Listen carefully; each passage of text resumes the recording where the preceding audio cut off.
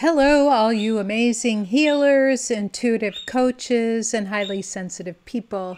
Today I'm going to continue along the track of helping you heal your relationships. Remember, relationships are the number one factor in your health, your wealth, and your well being. And this is not just me speaking, this is from a long term, 85 year long research project done at Harvard University and published over the last couple of years. And it just show, goes to show you that of the eight factors, relationships is the top. And what you eat and your exercise, even though it's foundational, it is the bottom of an eight um, an eight factor list. So let's talk about your relationships. And today I'm going to talk about what I call contracts and agreements, and you'll discover what these are and why they're important. And I'll also talk to you about the results some people have had by clearing these and keeping them clear. Stay tuned to hear more. This is Anastasia. I used to be a physics professor specializing in vibrational and quantum physics. After recovering from a serious illness using energy healing on myself, the calling to heal became so strong that I had to quit my 40 year research career. I replaced my six figure professor's salary within five months using a simple but not easy three step system that I worked out to grow my healing practice. Now I help other healers grow their practices, whether they're just starting or already have a practice, with this same three step system. I'm all about helping you too. Listen in to learn more. Thank you so much for coming back. I am so happy you're here. And we're talking about this utmost important topic of relationships. So, when I grew up I had very difficult relationships because my parents went through the war and my mother grew up in Greece where it is uh, kind of like old traditional family values where children are worthless and you just do what you're told or you get punished. And I grew up with this even though I grew up in the United States. And my father had pretty much a similar background. So, what that means is that when you form contracts and agreements with other people as you're growing up, it is based on those dysfunctional relationships that you have with your parents and what your parents have with each other. It doesn't necessarily mean all relationships are dysfunctional. It's just that you're only listening here because you want to solve a relationship problem, right? So, what happens when you first meet someone in the first few seconds, basically, somewhere in you, you size them up and you also base your current or future relationship on that person with exactly uh, stuff you've experienced before. So I had a very angry mother. She uh, yelled a lot, like almost daily, it felt like, even though maybe it wasn't, but it's how it felt to me being a highly sensitive person and not wanting to live in that environment.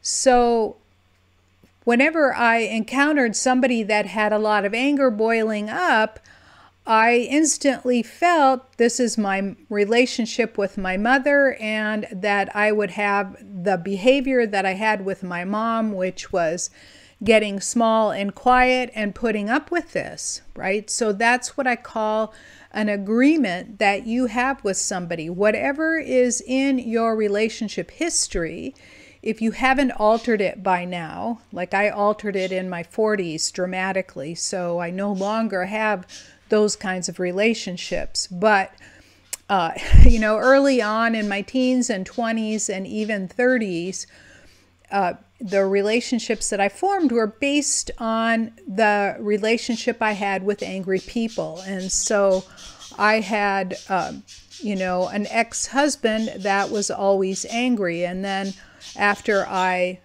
Uh, this was early on. And then after I left him, I had another angry husband, and that lasted 10 years, and I had two children with him. Right? So for some people, this, you know, anger thing is okay. It is not okay for me. Right? It's just not me. I don't like yelling, and I don't like discord, and I don't like friction right? Because I feel like we're grown up enough that we can negotiate with one another, which is what I do with my now husband, right? We negotiate with one another, we're content with one another, things flow freely, we support one another. It's just like what you would call, in most people's terms, a boring relationship. But what I call it is warm and supportive and kind, right? So, if this is what you're looking for, then looking at your old contracts and agreements that you have formed with other people in the first few minutes of forming that relationship with them, right? If you have these contracts and agreements, you can break them, you can change them. So I talked about your energy field and I've talked about your cords right? So cording and energy field is a way of exchanging energy with one another. The contracts and agreements are your rules of engagement with that person, and that those rules of engagement may not be healthy for you, but it is what you used to survive when you were little, right? And you'll continue that on until you go, wait a minute, this isn't working for me. Let me figure out what to do to change it. So, in the by clearing up the energy field and the cords and the contracts and agreements, you can actually change a lot in your relationships. As I mentioned, you know, your health and your wealth are very dependent on your relationships. After all, when you go to meet new people, if you are an entrepreneur, a business person, a healer, a coach, something like that, when you go to meet other people, you want those rules of engagement to be healthy, right? To be adult. And if you don't have that and you have this, um, what I call an imbalance or an unhealthy, dysfunctional connection with that person, it's like you've sprayed repellent all over you, and you'll go into a room and repel all of your ideal clients away and attract this unhealthy, uh, discordant connection with somebody. So, one way to rewrite those, so you can rewrite them energetically, and uh, I have lots of techniques for doing that. And the result is, let me just tell you the result and then I'll explain what it is that I do and that I also offer relation, a free relationship healing for doing that. So what it is I do or what the result has been by clearing these all up is that several of my healers and coaches have noticed that their business has dramatically increased. Uh, one woman was, I call her Susan, was very angry at her father for 40 years. And people would say, you know, Susan's really scary. I don't want to be around her. She like seems angry all the time. And she was actually a very kind, sweet, and thoughtful woman. It's just that it did not show because she had this barrier of anger around her and it acted like repellent. So as soon as we cleared her discordant father's relationship from her, the following week when I spoke to her, she says, I don't know what you did to me, but I can't even muster anger against my father anymore. And over the following month, with doing no new no new networking, no new advertising, nothing different than what she had done before, she attracted 30% more business. So her income grew by 30% without putting any more outlay in time and effort and money into it. Number one. And number two, her relatives and all the people that knew her really well said, Wow, you have really changed. Who are you and what have you done with Susan? And her family started to, you know, she was a grandmother, right? Her family started to interact with her in a much more positive way. And I've seen this kind of thing happen over and over and over again. There was a group of three sisters where two of them got along, and the third one was always belligerent, angry, and caused arguments at every holiday dinner. And these were women in their uh, 50s and early 60s.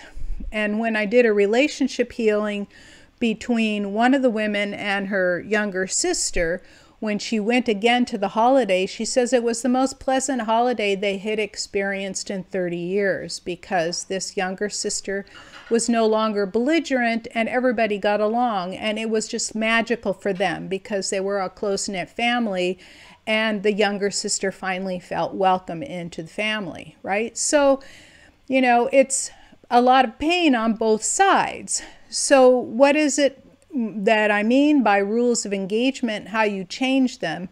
So, you imagine that each rule of engagement is a separate parchment paper, right? So, usually there are three or four between uh, two different people. And so, what a rule of engagement is I agree to be your wife.